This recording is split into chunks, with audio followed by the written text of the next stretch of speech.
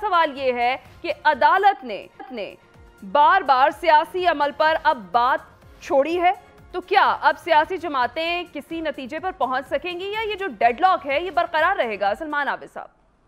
دیکھیں، فیصلہ تو اب عدالت نے کرنا ہے، وہ کیا فیصلہ کرتے ہیں؟ لیکن ایک بڑی دلچسپ بات آج جو وفاقی حکومت نے اپنا جواب داخل کیا سپریم کورٹ میں، وہ یہ کہا کہ ہمیں تھوڑی سی مدت اور دیں۔ وقت اور دیں ہم مذاکرات چاہتے ہیں۔ یہ تو کل تک کہہ رہے تھے کہ یہ پنچایت ہے۔ عدالت کوئی پنچایت کے تحت فیصلہ کرنا چاہتی ہے۔ اور اب یہ اور اب یہ نہیں کہہ رہے کہ آئین کے تحت فیصلہ کریں چیف جسٹس سے۔ کہا جا رہا ہے کہ آپ ہمیں وقت دیں، ہم مذاکرات کے ذریعے، بات چیت کے ذریعے مسئلے کا حل چاہتے ہیں۔ یہی تو سارے گفتگو کر رہے تھے۔ اس وقت آپ کہہ رہے تھے کہ عدالت جو ہے وہ پنچایت کا رول پلے کر رہی ہے۔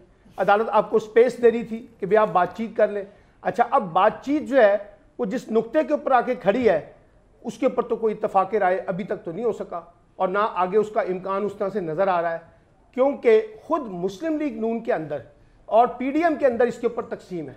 اگر آپ یہ فیصلہ کرتے ہیں کہ ہم نے جولائی میں، اگست میں انتخابات کرانے ہیں، تو فضل الرحمان ناراض ہو جاتے ہیں۔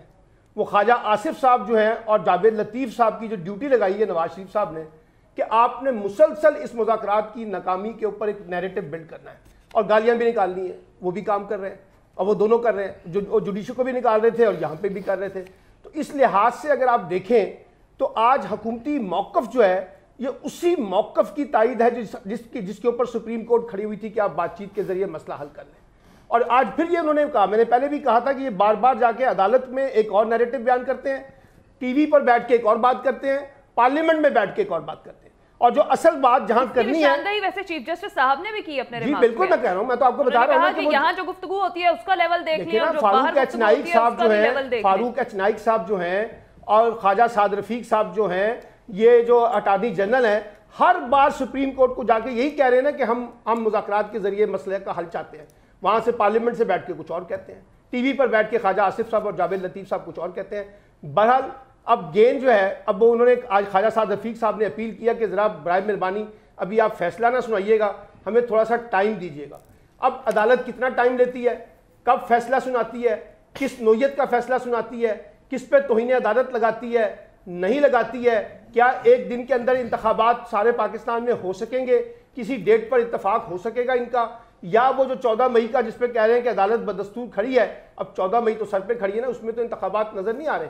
تو اس کے نتیجے میں پھر کیا فیصلہ آئے گا؟ تو یہ سارا ابھی ایک ابہام جو ہے، اب آپ سمجھیے کہ سیاست دانوں سے نکل کر سپریم کورٹ کی کورٹ میں چلا گیا۔ اب آپ نے کہا کہ لندن میں بیٹھ کے اجلاس ہو رہا ہے، وہاں پہ بیٹھ کے بڑے فیصلے ہوں گے۔ تو میں تو لندن والوں کے بارے میں کہہ چکا ہوں، تین لوگ ہیں جو یہ مذاکرات نہیں چاہتے۔ نواز شریف صاحب فضل الرحمان صاحب اور مریم نواز صاحبہ۔ تو لندن کا اجلاس کا مطلب کیا ہے؟ کہ ہم نے وڈرا نہیں کرنا، ہم اپنے موقف پہ قائم ہیں، ہم وہی کریں گے جو ہمیں کہا جا رہا ہے۔ اور وزیر اعظم صاحب جو ہیں، وہ بھی پابند ہیں پرائم منسٹر کی اپنے سابق پرائم منسٹر کی بات ماننے کے لیے، اپنی پارٹی کے سربراہ کے لیے۔ تو بظاہر اس وقت لگ رہا تھا کہ حکومت نے جو آج ٹائم مانگا ہے، وہ ایک لنگر آن پالیسی کا کانٹیکس ہے۔ یعنی تھوڑا سا اور ہمیں وقت جو ہے نا، وہ آگے نکال دیں تاکہ یہ چودہ مئی والی جو بحث ہے، یہ بھی آگے چلے جائے اور پھر آگے جا کے ایک نئی ڈیبیٹ کو جنریٹ کریں۔ وہ چیزیں تو ابھی بھی اسی طریقے سے پڑی ہوئی ہے نا۔